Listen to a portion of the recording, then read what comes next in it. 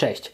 W dzisiejszym odcinku Zabytków Nieba poznamy kolejną konstrukcję, z której polskie szybownictwo może być naprawdę dumne. Bohaterką odcinka jest szybowiec przejściowy Salamandra.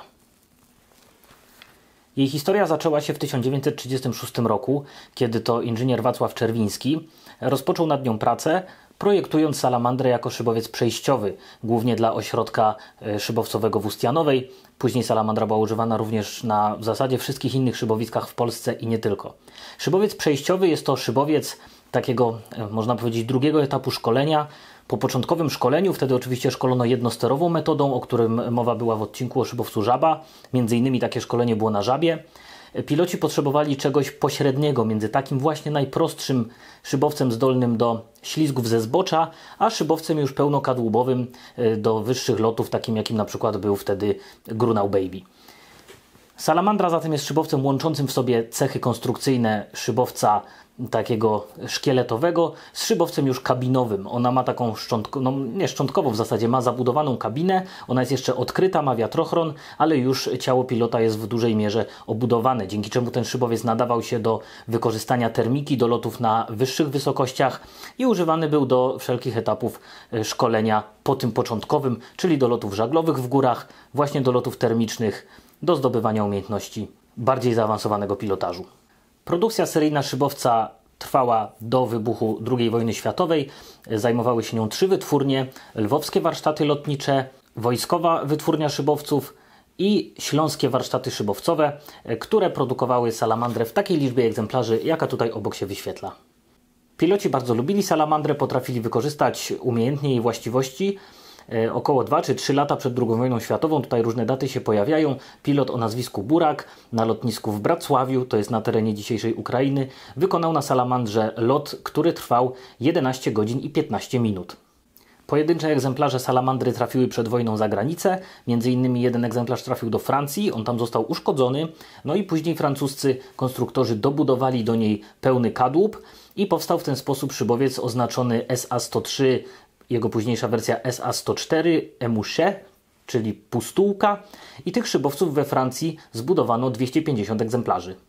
W czasie wojny większość szybowców Salamandra zniszczono, natomiast część przejęli Niemcy, około 30 egzemplarzy przekazali oni dla lotnictwa chorwackiego do szkolenia pilotów, część również przejęli Sowieci, zarówno egzemplarzy gotowych, jak i egzemplarzy, które zostały przez nich ukończone e, w przejętych zakładach w Lwowie. W czasie wojny w 1943 roku staraniami Witolda Kasprzyka udało się uruchomić produkcję szybowców Salamandra w rumuńskiej miejscowości Sinpetru. Zbudowano tam około 30 sztuk tego szybowca. No i na szybowcu Salamandra rumuński pilot Bresku wykonał lot trwający niemalże dobę, bo lot ten trwał 23 godziny. Tutaj osobom, y, które nie do końca są w temacie, y, oczywiście należy się takie wyjaśnienie, bo czasami to budzi y, niedowierzanie. To był lot szybowcem trwający de facto dobę i jest to lot bez przerwy. Czyli ten pilot wystartował o 7 rano na przykład i wylądował o 7 rano następnego dnia. Bez międzylądowania, bez przerwy. Jeżeli potrzebował jeść, to jadł w szybowcu. Jeśli potrzebował pić, to pił w szybowcu. Jeżeli potrzebowałby spać, to by tego lotu nie wykonał. Jeżeli potrzebował załatwić inne potrzeby fizjologiczne, to robił to na tyle, na ile możliwości pozwalały, albo wstrzymywał się z tym do czasu lądowania. Tak więc 23 godziny lotu szybowcem to są 23 godziny od startu do pierwszego lądowania po tym starcie. Tu taka ciekawostka, że to później już się zrobiło tak niebezpieczne, że obecnie nie istnieje taka oficjalna kategoria. Mamy teraz rekordy szybowcowe w kwestii prędkości, e, w kwestii odległości, w kwestii przelotu po trasie otwartej czy zamkniętej, natomiast nie są już rejestrowane przez międzynarodowe organizacje rekordy lotów szybowcowych pod względem długotrwałości lotu. Jedna salamandra została ukryta w czasie okupacji w Goleszowie, tam przetrwała wojnę i po wojnie ten egzemplarz posłużył do odtworzenia planów szybowca i uruchomienia jego powojennej produkcji, która rozpoczęła się w Instytucie Szybownictwa w Bielsku Białej. Obecnie części tego zdemontowanego szybowca znajdują się w zbiorach Muzeum Lotnictwa Polskiego w Krakowie. W czasie powstawania tego filmu nie są one eksponowane. Sam Czerwiński, który w czasie wojny przez Francję trafił do Kanady, pracował tam dla zakładów de Havilland, podobnie jak w przypadku Żaby, tak i plany Salamandry zrekonstruował z pamięci i stworzył tam jej kanadyjską wersję, która nazywała się Sparrow. To de facto była salamandra wyposażona w kółko do lądowania, oryginalnie salamandra miała tylko płozę i później stworzył rozwojową wersję tego szybowca o nazwie Robin. Ten Robin nie został wdrożony do seryjnej produkcji, ale jest to pierwszy szybowiec na świecie, który był holowany do lotu przez wiatrakowiec.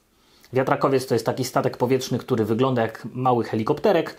Współcześnie e, dawniej wyglądał jak e, samolot z wirnikiem od, e, od śmigłowca, natomiast generalnie jest to statek powietrzny, który łączy w sobie cechy śmigłowca i cechy samolotu, przy czym nie ma on napędu na wirnik nośny.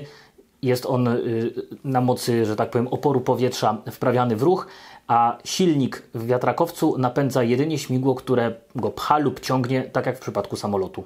Produkcja powojenna szybowca Salamandra obejmowała kilka wersji, one miały nieznaczne modyfikacje i oznaczane były rokiem wprowadzenia tych modyfikacji. Na początku była Salamandra 48 wedle odtworzonych powojennych planów, następnie była Salamandra 49, która cechowała się tym, że wyposażona była w hamulce aerodynamiczne i później była Salamandra 53. W Salamandrze 53 zostały e, zmienione proporcje usterzenia, zostało ono znacznie powiększone, żeby poprawić zachowanie się szybowca w przypadku wycofania sterów do neutrum.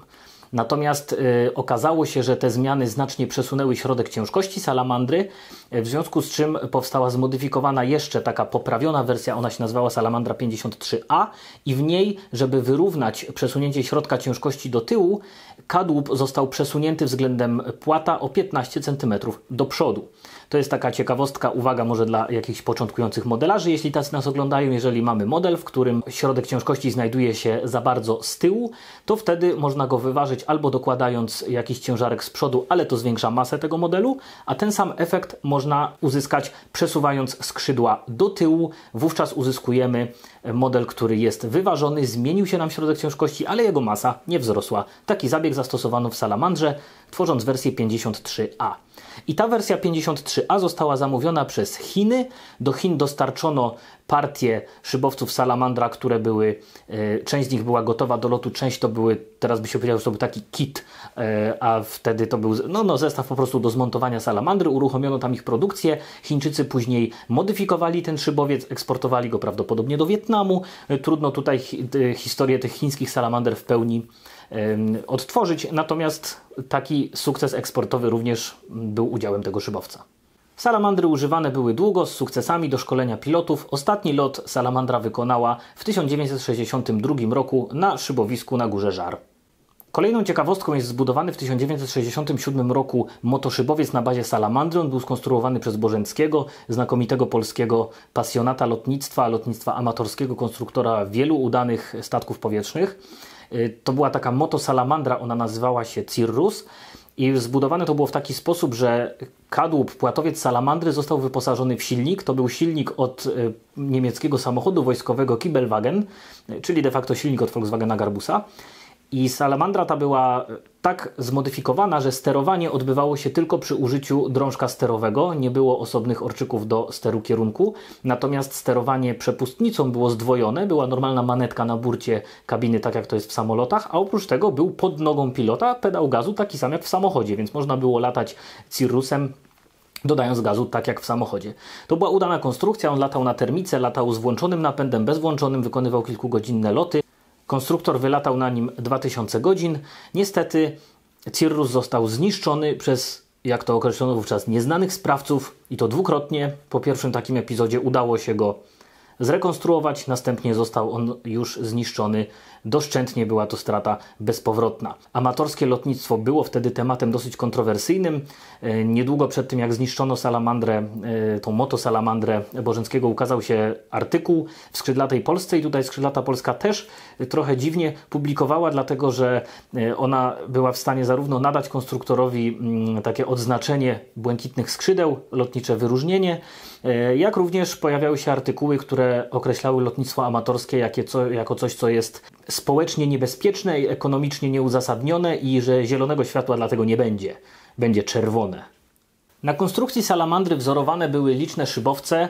Tutaj nie będę wymieniał ich nazw, dlatego że one były jugosłowiańskie, fińskie i węgierskie. Te nazwy się tutaj wyświetlają. Jakbym to powiedział, to już w ogóle by YouTube zgupiał, jeśli chodzi o rozpoznawanie mowy. Nie wiem, czy zwróciliście uwagę, ale jeżeli mówi się na YouTubie po polsku, to automat rozpoznaje ten język jako rosyjski, co jeszcze rozumiem, ale bardzo często jako francuski. Salamandra, podobnie jak późniejszy bocian, okazała się hitem eksportowym. Była ona używana w bardzo wielu krajach, których lista tutaj obok mnie się wyświetla.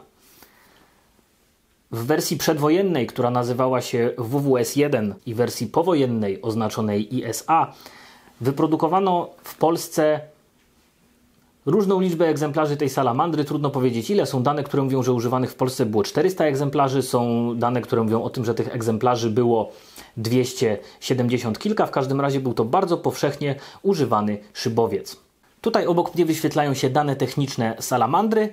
Ten odcinek ilustrowany był zdjęciami z Muzeum Lotnictwa Polskiego, w którym znajduje się szybowiec ISA Salamandra. Jest to trzeci egzemplarz wyprodukowany w pierwszej powojennej serii salamander. Jak już wiecie, byłem niedawno w Gliwicach, gdzie powstała replika salamandry, nie jedyna, ponieważ y, tych egzemplarzy zrekonstruowanych jest kilka.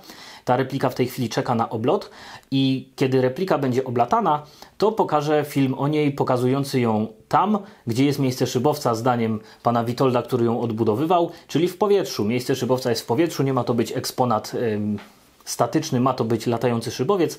Wtedy odwiedzę Gliwice ponownie, e, sfotografuję ją od wnętrza, będzie kabina 360 e, i przy okazji repliki, która bardzo wiernie odwzorowuje oryginalny szybowiec, powiemy o tym, jakie były rozwiązania konstrukcyjne w Salamandrze. Tak więc spotkamy się z tym szybowcem jeszcze raz, a tymczasem żegnam się z Wami i do zobaczenia w kolejnym odcinku z serii Zabytki Nieba. Pozdrawiam serdecznie.